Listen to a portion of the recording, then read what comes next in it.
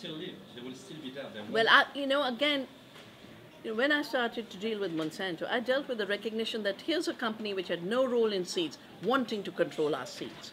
You don't think of Monsanto as the company that controls the seed. You, you see it as an illegitimate actor that wants to take control of your seed. Now, if you want to take control of your seed, you just stand there and say, sorry. That's what we have to say to Bill Gates. Bill Gates is a newcomer. Five years, ten years ago, he starts AGRA. Then he's jumping into this. He's already taken over the WHO and the health system. Right? We can either say, oh, Mr. Gates has always been powerful, he's always been around. No, he's an upstart. He's an upstart who's a nobody in the history of the evolution of this planet. He's a nobody in the history of evolution of our cultures. He's a nobody in the history of democracy. And I said it's very wrong that governments, which are meeting for an interstate, intergovernmental gathering, allow him to stand with them. They are giving up their power of representing democratic societies.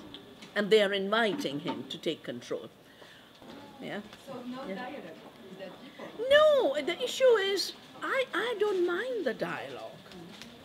I can tell you, because I have critiqued AGRA so much, the Alliance for the Green Revolution, and the GMOs, I have so many friends who say, "Oh, but you should talk to Bill Gates. I said, sure, fix a meeting. Poor guys, 10 years they have spent trying to fix an appointment. I'm not going to wait to fix an appointment with Bill Gates. In my life, um, soil bacteria is a more significant being on this planet than a Bill Gates.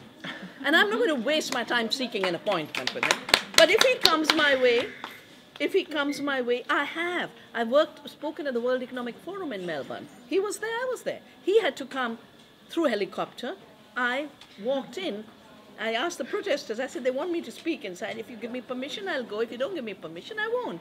They said, no, for you, we will open up. They let me go. I was there. I won't avoid him, but I won't kill myself trying to meet him.